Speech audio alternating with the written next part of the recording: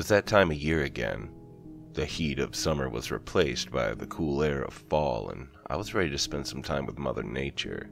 I could already hear the sound of water rushing over the rocky riverbed and the crisp leaves crunching under my shoes as I hiked the narrow trail in search of the perfect place to set up camp.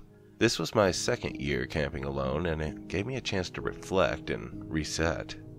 I pulled into a small parking lot that was designed for hikers. There were only eight spaces available, but no more than three cars were ever parked when I came out for a camping trip. There were two different hiking trails, and I usually hike the trail to the right, but decided to go to the left this year. After adjusting my backpack and locking my car, I headed down the trail. My dad always took me camping out here when I was a kid. We would set up the tent, and then he would start the campfire. I enjoyed roasting hot dogs and marshmallows while he told me creepy stories. He would swear they were real to get a rise out of me, but I never believed him. Sure, Dad, was always my response. During our last camping trip, he told me a story about a modern day witch hunt. A family moved into town and their daughter was the quiet type. She wore black all the time and stayed to herself. The kids made jokes at her expense and threw things at her in class, until one day she had had enough and threatened her bullies. A few days later, one of the boys was in a serious car accident. The kids swore the girl in black put a curse on him and they plotted their revenge. It was a Friday afternoon that the girl was kidnapped. A group of kids carried her into the woods, gagged and bound, then tied her to a tree. She was later found still tied to the tree with her mouth sewn and a pool of blood around her feet. The murder was covered up, and the kids were off the hook. Rumor has it that the kids' parents were important figures and the case was dropped quickly. When the police didn't bother to investigate further, the girl's parents moved out of town. They swore to pursue justice, but nobody heard from them again. Less than a year later, the kids went missing one by one. Their bodies were all found in the woods, tied to a tree, mouths sewn, and a pool of blood around their feet. Every night, hikers could hear the murders play out. My father said it was off the left trail, I wanted to take that trail, but he always refused. I think he actually believed those stories. This year I wanted to know. The light around me dimmed and I knew it was time to set up camp. I hadn't found a place yet, but decided to actively look for one now. I moved off the trail, but made sure I didn't wander away too far. I didn't know this side of the woods, and I didn't want to get lost. A few yards away, there was an empty space between a few trees, just wide enough for my tent, but I would have to keep my campfire small. In the distance, I could hear other hikers walking. It sounded like they were looking for a place to set up as well. Though I enjoyed the company of fellow campers, I wanted some time to myself and I hoped they wouldn't come in my direction.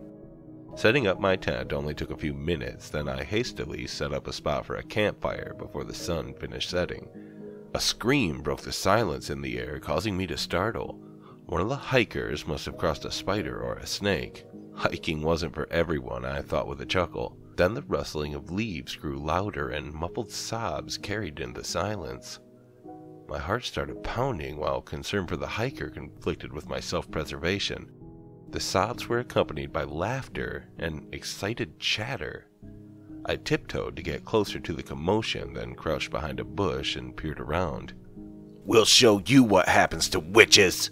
It was a male voice, followed by more chatter. Get the rope, another boy said. Here, responded a girl. I moved forward some more and finally found who I was looking for. There were three boys and two girls, all around the age of 17. They tied the girl's hands behind the tree. Each of them took a turn punching and spitting on her. I wanted to do something, but I was in shock. This was exactly like the story my father had told me.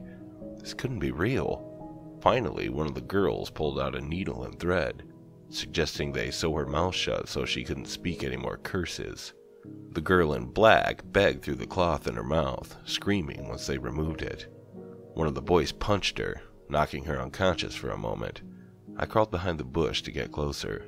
The girl howled pleas of mercy through heavy sobs. They pushed the needle through her lips and pulled the thread as tears streamed down her face until she finally passed out. When they were done, a boy suggested they get out of there. I wanted to run to her, but one of the boys turned back from the others. You're not hurting anyone else, witch, he said, stabbing her in the gut. Then again. What are you doing? One of the girls had turned around with a horrified look. If anyone finds out! We're fine. Let's get out of here. He pulled her in the direction of the others. My heart was pounding against my chest and my head was foggy. Once the kids were gone, I jumped up from the bushes and ran in the direction of the tree, taking a moment to look back. I didn't want the kids to see me. When I looked back to the tree, nobody was there. I assumed I had walked to the wrong tree, so I turned slowly to each of the trees around me. The air was silent except for the light wind that rustled through the leaves and the birds chirping. What the hell? I said under my breath. It was as though nothing had taken place. I blinked and surveyed the area once more. When I was about to give up, I felt a cold hand on my shoulder and whirled around. The hair on my arm stood straight, and I could hardly breathe. There was nothing there. I was the only one in the small clearing, but I distinctly felt someone touch me. I let out a quiet laugh, shaking my head. My dad's stories were getting to me. I went back to my camp and started pulling out food for dinner. I stuck a hot dog at the end of a stick and hung it over the campfire just like old times. My thoughts trailed off to the work I had waiting for me when I got back and the friends I needed to visit. Poor Lauren had been waiting to hang out for almost a month, but work had taken over my life. After eating dinner, I put the food away and climbed into my tent. My sleeping bag was cool to the touch at first, but quickly warmed up with my body heat. I reached out to turn off the lantern and snuggled further down into my sleeping bag, closing my eyes. I started dozing off when a scream jolted me awake. No! Please! A female's voice pleaded. Joanna! A male's voice carried louder, and I could hear the rustling of leaves. Goosebumps covered my arms, and I was frozen in the decision between checking it out and staying where I was. I stayed in my sleeping bag and listened some more. You're dead! My dad said you were dead! The boy cried. No! No, stop! My curiosity took over, and I was out of my tent, walking slowly on my haunches and peeking through each bush again. The moonlight was bright enough that I didn't need my flashlight. It would have drawn too much attention anyway. The protest became more muffled, making it more difficult to find the source. The crunch of leaves and another muffled grunt led me to a male and a female, each tied to a tree. Their heads hung low, but in the dim light, it appeared their mouths were sewn shut. I looked to their feet where the moonlight reflected off a pool of blood. My mind raced, deciding what to do next. When I turned around, my stomach folded over and I lost my breath. I stared at the pale girl in front of me. Her eyes were as dark as her hair and her mouth was sewn shut. She caught me as a witness to this horrific scene, but she didn't move, only stared. I looked down at her hands that were covered in blood and her tattered black dress. My legs finally decided to move and I darted past her to my camp. It was too dark to pack up and move out, but I couldn't stay. Another scream filled the air. It was another male. She wasn't after me, but what could happen if I stayed? Having no other choice, I crawled back into my sleeping bag and listened to the screams fade one by one counting each one until I reached five. The rest of the night was filled with silence. I can't say I slept well that night. When I woke up the next morning, I decided to pack up and head to my car. I would never take the left trail again.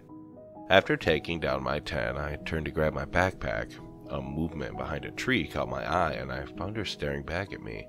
My breath caught in my throat, and I spun back around to grab my bag. A shriek escaped me when I saw the formation of small stones spelling out a very specific message. Why didn't you help me? I yanked up my bag and ran, my feet moving faster than I thought possible. The rustles of leaves followed behind me for the first few feet. Every few yards I saw her in the woods.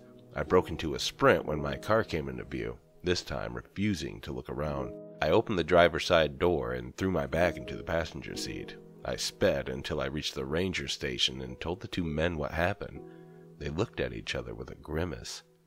You actually stayed out there? One of them asked. Nobody actually stays out there. The other ranger said, as though I was out of my mind. Ever since my daughter Joanna was killed out there, I refuse to walk that trail, the other said. Evan watched the whole thing that night. He tried to tell someone, but nobody listened. Then the five kids started disappearing one by one. The first one said to the other, Evan who? I asked. Walker. Why? The ranger narrowed his eyes at me. That's my dad, I said before walking out. My dad knew the details of that story because he was there. That's why he wouldn't take the left trail. What would happen if she saw him again knowing he did nothing to help her? Did she know I was his kid? Could she see the resemblance? I would never know because I would never return to those woods again.